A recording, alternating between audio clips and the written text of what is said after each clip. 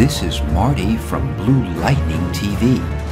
I'm going to show you how to transform someone into Joker from the 2019 movie. Open a well-lit, high-resolution photo of a face that you'd like to use for this project. I downloaded this one from Shutterstock. Make a copy of it by pressing Ctrl or Command J. Name it Hair. Temporarily hide the copy and make the bottom layer active. Click the adjustment layer icon and click black and white. Open the preset list and click maximum white. Invert the layer mask by pressing Ctrl or Command I. Doing this will allow us to reveal back the black and white effect just over the face. Think of layer masks as stencils. Black hides or masks out the image while white reveals the image. Open your brush tool and brush picker. Open a soft round brush.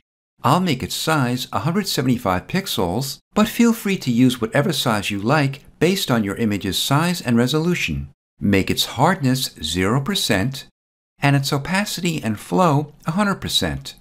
Make sure your foreground and background colors are white and black respectively. Brush over the face to reveal the black and white adjustment layer through the layer mask. To feather out the perimeter more, invert the colors by pressing X on your keyboard and decrease the brush's opacity to 50%. Increase your brush's size by making sure your caps lock key is off and pressing the right bracket key on your keyboard. Brush around the perimeter of the face. Next, we'll darken its midtones. Click the adjustment layer icon and click Levels. We want the Levels adjustment layer to affect only the face and not the rest of the subject. Since adjustment layers affect all the layers below them in the Layers panel, we'll need to clip it or restrict it to the face. To do this, click the clipping mask icon or press Alt-Control-G on Windows or Option-Command-G on a Mac. You can also go to Layer and create Clipping Mask. For the input midtone levels, I'll type in 0.65. However, feel free to adjust this amount. If some midtones are a bit too dark, you can restore them to their original levels by inverting your colors so black is your foreground color. Brush over the areas you want to lighten.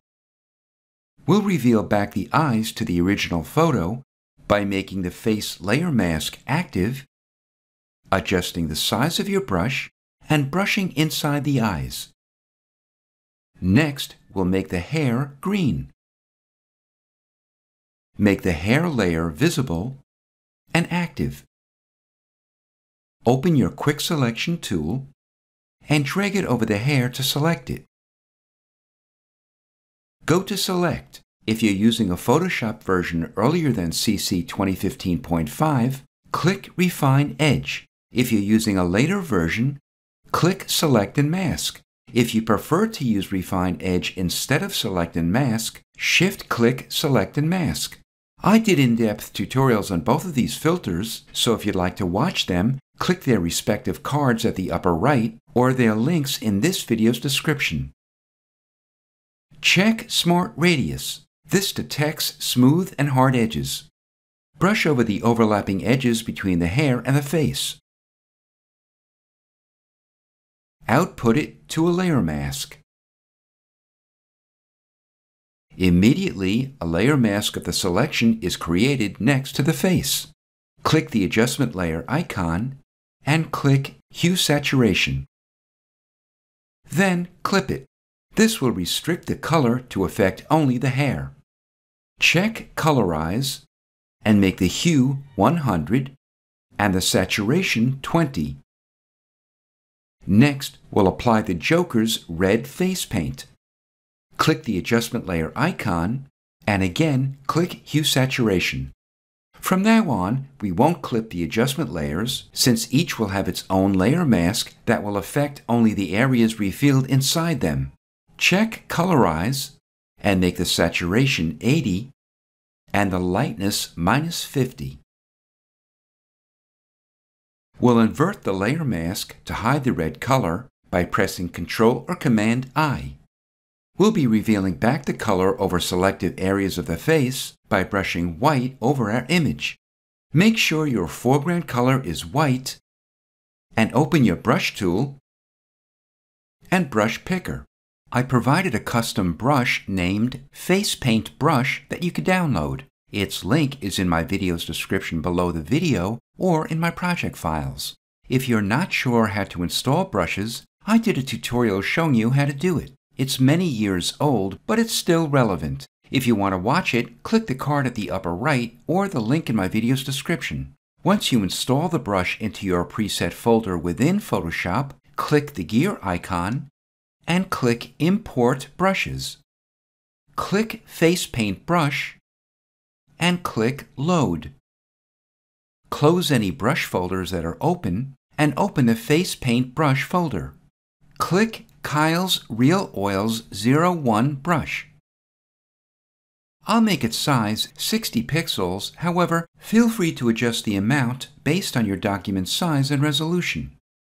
Brush over the nose to reveal the color through the layer mask. If you want to reference the Joker's face from the movie, there are plenty of images from which to choose on the web. If you want to remove areas of the color, press X to invert your colors so black is your foreground color. Brush over the color you want to mask out. Then press X again to invert the colors. Brush over the mouth to reveal the color, and again, whenever you want to hide the color, press X and brush over the color to hide it.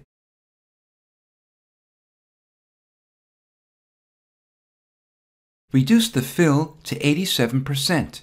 Reducing the fill of certain blend modes results differently than if you were to reduce their opacity. In this example, I'd like to make the eyebrows darker. If you want to darken an area of the face paint on your subject, press Ctrl or Command J to make a copy of the adjustment layer and change the copy's blend mode to linear burn. Reduce its fill to 78%. To reveal back the areas you don't want darker, like the nose and mouth in this example, open the rectangular marquee tool and drag it over those areas. We'll fill the selection with black, which will add black to that area of the layer mask.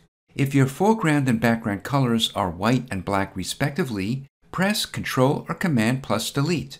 If your colors are inverted, in which black is your foreground color, press Alt or Option plus Delete. Deselect it by pressing Ctrl or Command D. Click the adjustment layer icon and click Hue Saturation. Change the blend mode to color burn. Check colorize.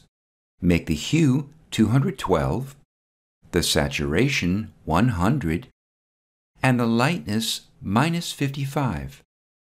Invert the layer mask to hide the blue color. Make sure your foreground color is white and brush over the top of the eyebrows and below the lower eyelid, revealing and masking out the color to finesse their shapes. Make a copy of the adjustment layer and change the blend mode to linear burn. Reduce the fill to 33%. Lastly, we'll change the colors of the clothes. Click the adjustment layer icon and click Hue Saturation. We'll keep normal for its blend mode.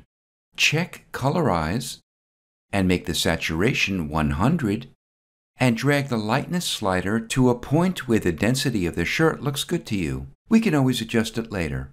Invert the layer mask to hide the color. Open your brush tool and brush picker. Open the brushes folder that contains your normal round brushes click a soft round brush and make its opacity 100%. Adjust its size and brush over the outer garment. Click the adjustment layer icon again and click Hue Saturation. Check Colorize. Make the hue 144, the saturation 100, and the lightness minus 49. Invert the layer mask to hide the color. Then brush over the inner garment. If you want to adjust the brightness of the clothing some more, Drag the lightness to the left or right. Click the adjustment layer for the outer garment to make it active and drag its lightness as well.